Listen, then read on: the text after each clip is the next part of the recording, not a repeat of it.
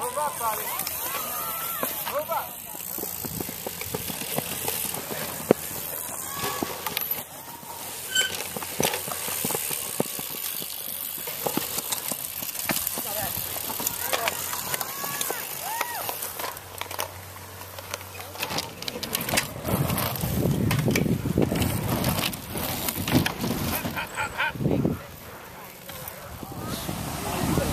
All right, anyone wishing to volunteer and help out, anything on the course past the finish line is available for teardown.